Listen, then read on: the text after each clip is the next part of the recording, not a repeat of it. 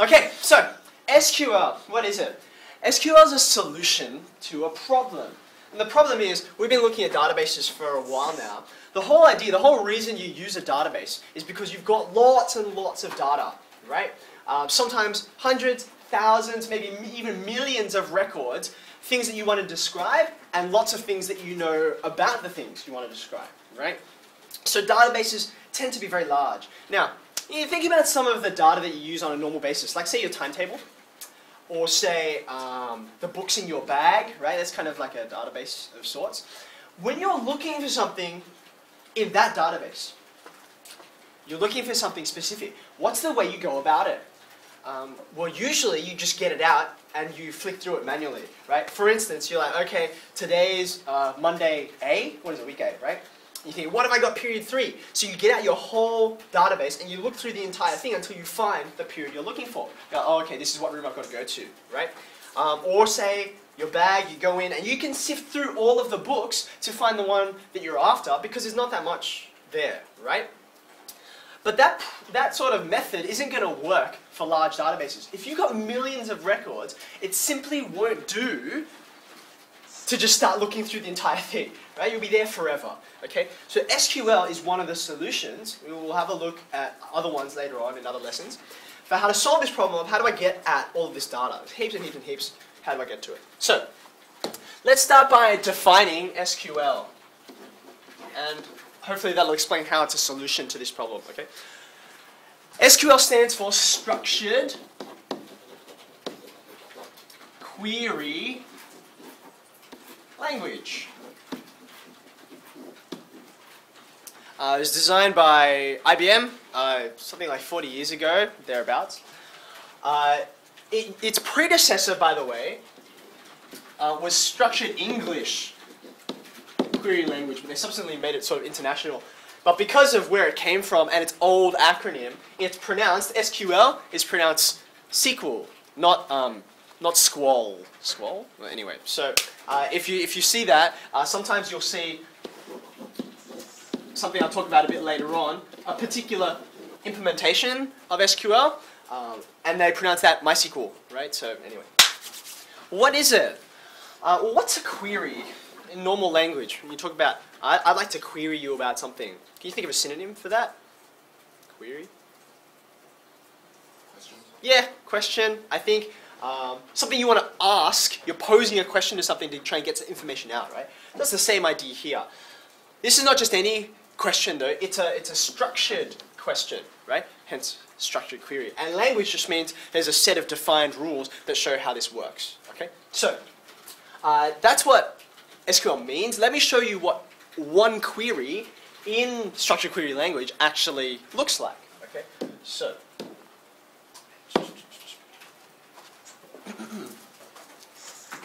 Uh, a query in SQL has four components, okay, and you'll see how each is important to get out data from a database, okay. So, I'll put them all down and then we'll discuss them.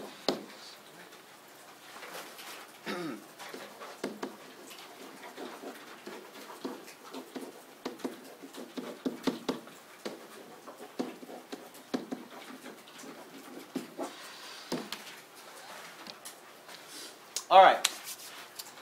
So here are the four pieces, okay? Uh, what are we looking at? Remember the structure of a database, right? Databases themselves are structured. That's why the queries that deal with them are also structured. Uh, databases, relational databases, are made up of tables that are made up of uh, records and fields, right, which describe all the things in there. So select talks about, okay, which fields in this really, really large database, it might have hundreds of fields, which fields am I interested in? Okay, so for instance, you might say, I'm interested in students and their marks. Students and their marks. Okay. So I might say, um, student dot name. Okay, now, student dot name, right? Student means that's the table I'm looking at, so this is the student table, and name is the particular field in the table that I'm interested in. Okay, so that's what student dot name is referring to. I might have a few others on there, like maybe uh, student dot class and so on and so on. Extra things there. Maybe I'll just add that in here.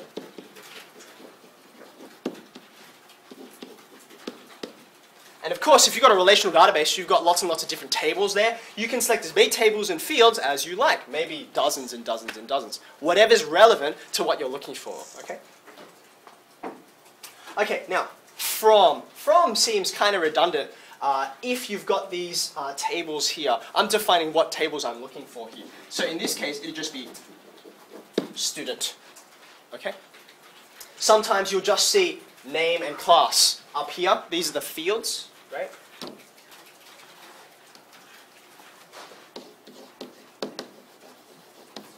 Whereas from says which tables are you interested in.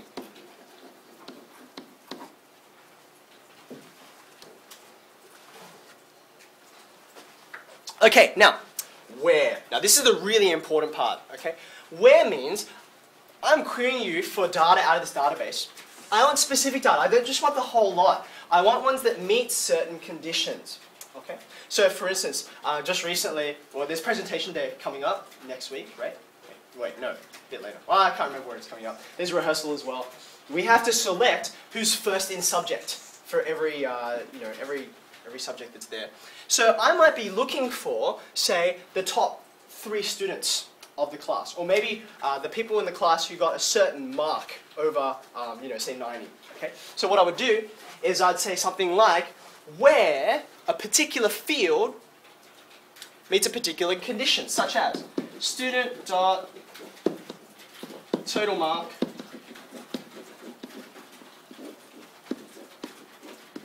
is greater than 90. See what's going on? I'm looking at a particular field and I'm applying a condition to it, right? And so this is the question I'm posing. So obviously not everyone in the database will meet this condition. So the output of this query, uh, the answer to the question, if you like, will just fit, give me those particular things that will meet this condition. Okay, I might apply other conditions as well. I might say the student's total mark is greater than 90, um, and, um, for instance, their students Hmm, what assessments have you guys done? Let's just go for the most recent one. The term 4 exam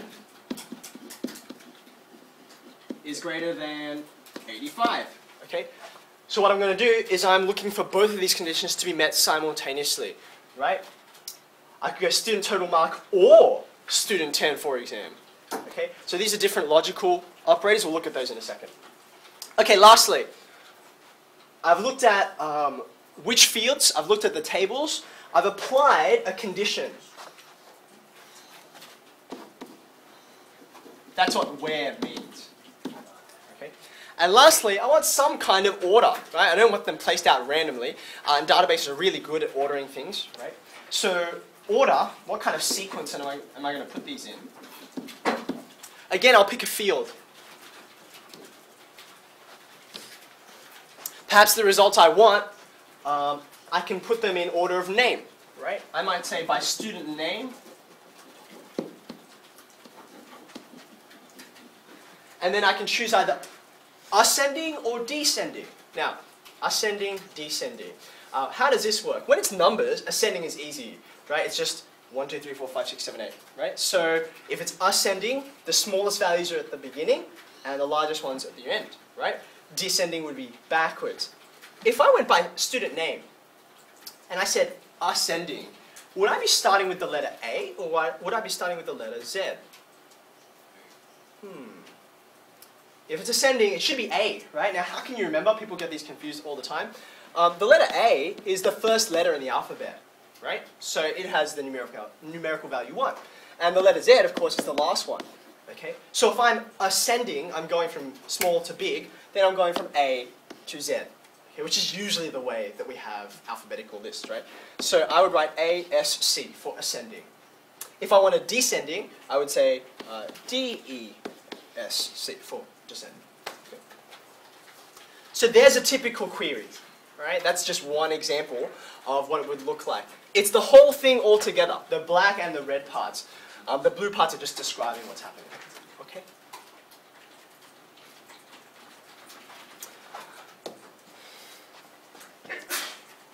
Okay, so we just did one and two just now.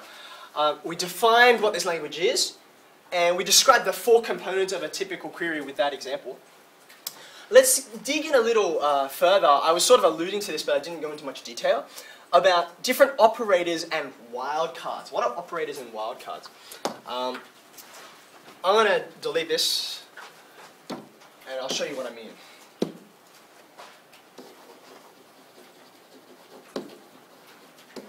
We'll talk about operators first. Operators are about logic.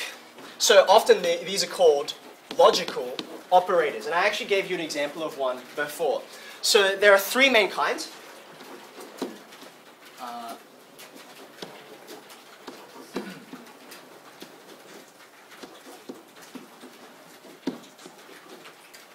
There's a fourth one I'll, I'll, give you in a second. There's actually more than that, but these are the ones that are most commonly used.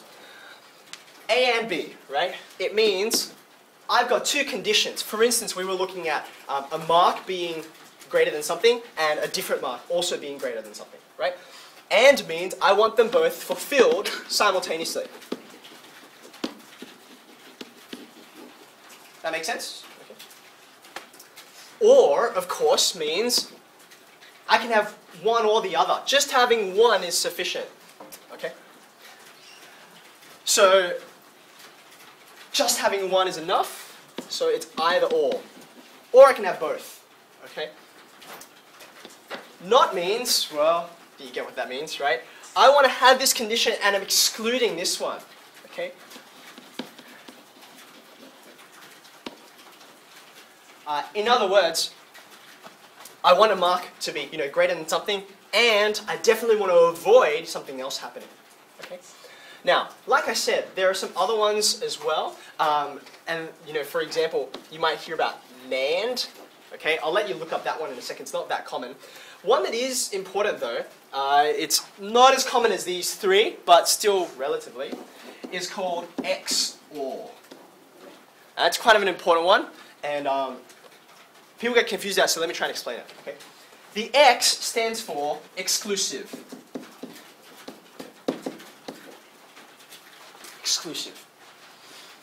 So you can see it's similar to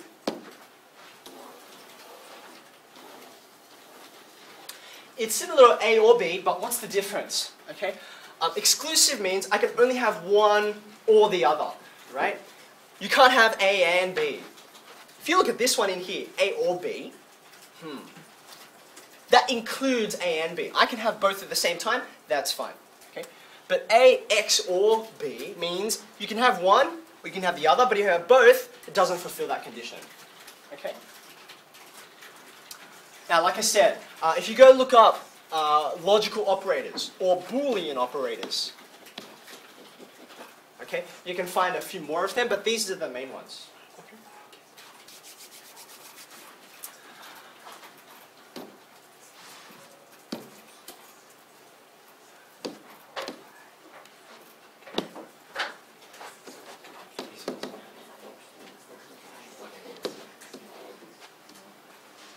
Okay, now one more little thing before uh, I'm going to give you an exercise. Uh, wildcards. What are wildcards are about? They're a particular thing you can add into your conditions that allow your searches to be more flexible. Okay, I'll explain what I mean. This star is the first kind of wildcard. What it means is any set of characters. Okay? For instance, I might want everyone in the class whose last name, whose surname starts with T. Okay? Uh, I don't know, for instance, maybe I'm looking for a student and I, re I remember their surname starts with T, but I can't remember what their surname actually is. Okay? So what I would search for, the way I would use this query is, I'd say student dot last name. Okay, and then I'd say it's equal to T or T asterisk, right? Uh, by the way, all text conditions, they have to be in quote marks, okay? So if it was a number, I wouldn't need quote marks, but because it's text, I do.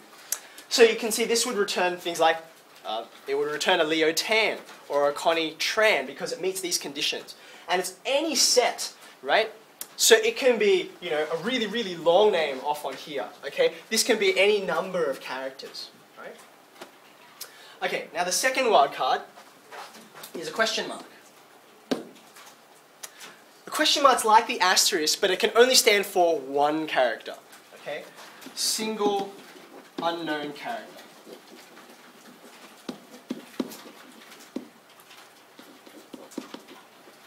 Okay? So for instance, suppose I know I've got a student and his surname's either, I don't know, it's either Chan or it's Chen, right? But I, I don't know which one. Now, it would be a really bad idea for me to use the first wildcard, the asterisk, right? Because if I went CH star, okay, I'm going to return far more results than I'm actually interested in. I won't just return Chan and Chan, I'll return um, Chong and Chu, and in a school like this, this is a bad idea, right? Uh, it's going to go on and on and on. So I could do this, but it's very inefficient. Better, if I know it's that specific, right, is to say student.last name is equal to, quote, CH, these are the letters I know, question mark, there's the unknown, right? And I know it ends in an N. It ends in an N, okay? So that will return just Chan and Chen, and maybe, maybe Chin, I suppose, or Chan, or, yeah, you get the idea, okay? Okay, so those are the wildcards. Now, let's come back here.